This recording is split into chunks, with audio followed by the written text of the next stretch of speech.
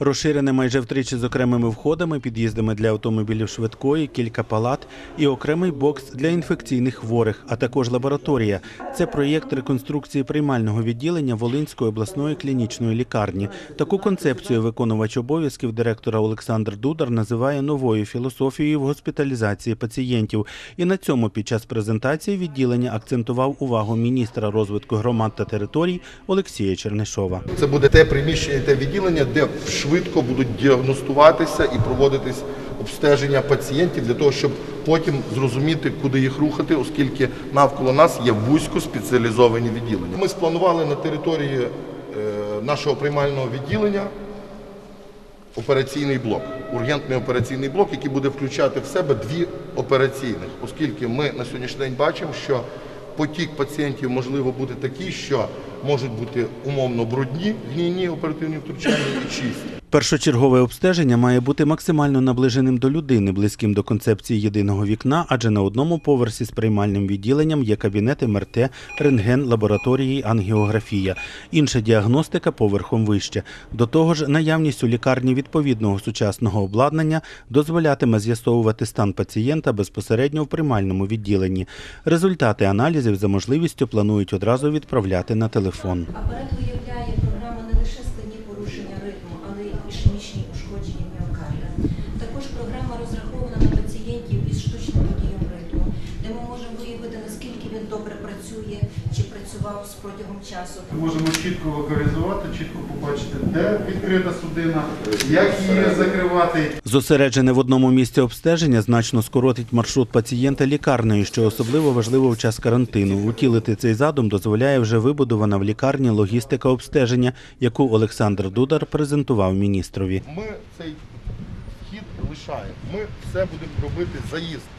От там, де зараз міняють комунікації, звідти буде заїзд автомобіля під той корпус і рух пацієнтів туди. Так спроєктували, що в нас на цьому поверсі є свій діагностичний центр невеличкий, так, який нам цілком нас задовільняє. Добре, але, зараз- але ви, ви не відмовляєтесь від, е, від обладнання, я так я вам скажу. І питання в мене наступне: як буде жити лікарня у період реконструкції приймального відділення?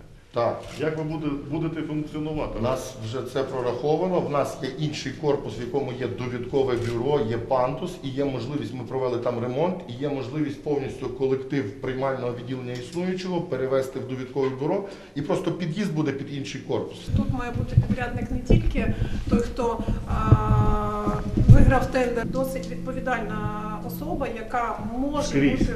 Такі Ну, вимоги в нас скрізь. Я розумію, але коли ми робимо 200 квадратних метрів до жовтня і 1200, це трішки різні е, Звичайно. активи повинні бути у самого підрядника, для того, щоб ми могли не Вимоги до нікого. нього. Приймальне відділення також передбачає стоматологічні, гінекологічні кабінети, гардероб. Обласна лікарня одна із семи на Волині, де передбачена реконструкція приймальних відділень, і найбільша.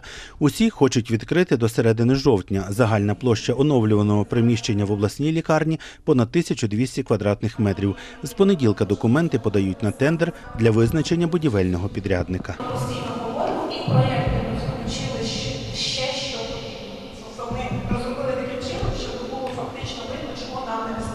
ми хочемо зробити, щоб все було е, раз і назад, щоб потім не переробляти?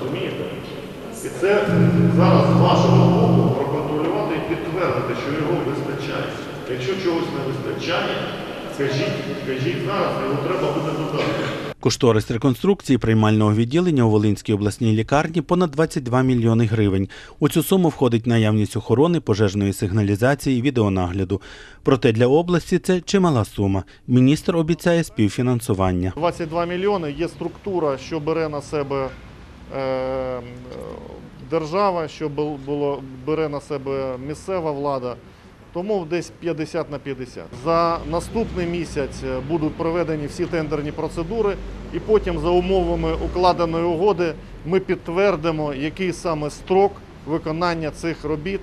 Дійсно, ми не маємо е, приносити в жертву е, якість робіт і міняти її на час. Тому, звичайно, ми погоджуємось. е, Я буду це тримати на контролі. Ми змінюємо призначення, перш за все, кожного з приміщень. Ми змінюємо філософію бачення нового приймального відділення. Відповідно, заставляє нас думати по-новому, підбирати кадри по-новому, навчати кадри по-новому, дивитись на пацієнта по-новому. Якщо це плановий пацієнт, який прийшов для е, свого початку, якби як приймальне відділення для реєстрації, то це хвилини. Якщо пацієнт привезений швидкою допомогою в шоковому стані, без свідомості, також запланована протишокова палата на два ліжка, буде обладнана всім необхідним. Це реанімаційні заходи, це виведення з шоку.